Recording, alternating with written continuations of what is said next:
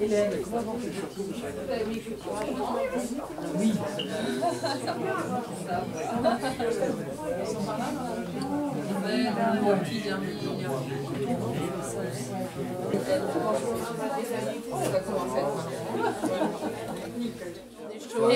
Deux fois et vous leur donnez Même pour nous. Mais moi, quand j'envoie des Je suis content d'accueillir une nouvelle fois dans la bibliothèque une exposition. Je vois qu'il y a du monde qui est intéressé, donc c'est une chose à poursuivre.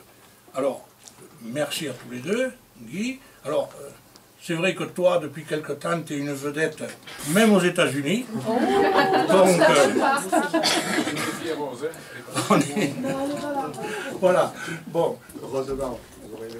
Mais, mais enfin, euh, mais, c'est- mais c'est bien. c'est- Et, et puis j'ai entendu l'autre soir que tu te proposais même pour faire la promotion du film au Canada. enfin bon, ça c'est autre chose. Voilà. Et Joël, pour remercier tout le monde, va vous lire un poème. Alors je vais vous parler d'un petit hameau. C'est un village en Périgord, calme et silencieux qui s'endort sous les rayons du soleil d'été, dans la solitude de l'immensité. Le maïs, l'orge et le colza côtoient les élevages de canards ou d'oies. Quelques vaches ruminent dans un pré, en compagnie d'un cheval de trait.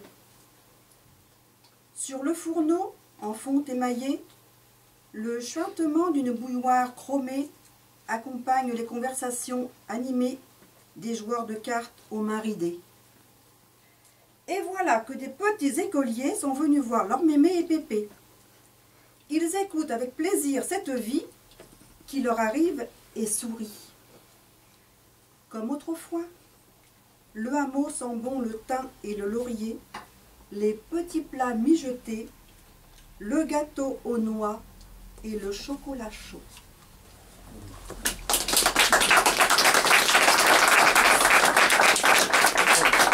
On vous applaudit tous les deux. hein. Vous faites un essai en direct Voilà, et maintenant, ben, je vous invite à vous approcher du, du petit buffet. On va boire un coup.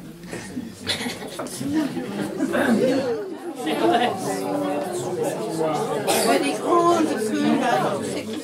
Non,